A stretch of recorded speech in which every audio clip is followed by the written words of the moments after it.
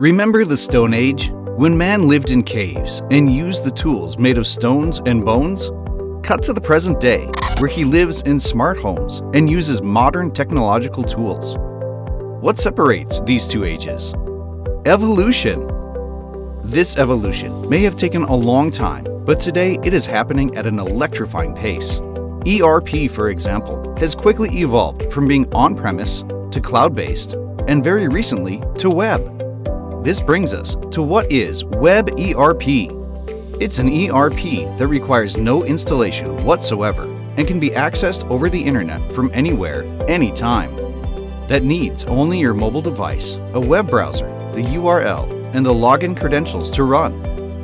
And that is scalable and delivers cost savings as well as a consistent user experience.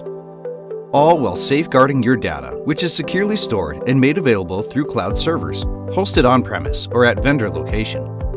Web ERP is an upgraded, better, faster, more responsive, and futuristic version of Cloud ERP.